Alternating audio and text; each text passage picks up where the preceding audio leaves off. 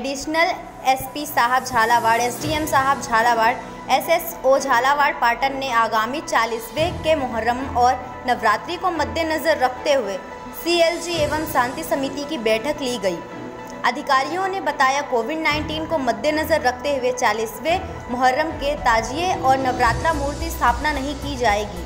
Mask एवं sanitiser का अधिक से अधिक प्रयोग करें सोशल डिस्टेंसिंग का पालन करें इत्यादि निर्देश मीटिंग में दिए गए। एडिशनल एसपी साहब झालावाड़ एडीएम साहब और एसडीएम साहब और सीएलजी और शांति समिति की मीटिंग- मीटिंग ली थी जिसमें निर्णय किया गया कोविड 19 को देखते हुए किसी भी तरह की मूर्ति स्थापना और ताजियों का निर्माण नहीं किया जाएगा।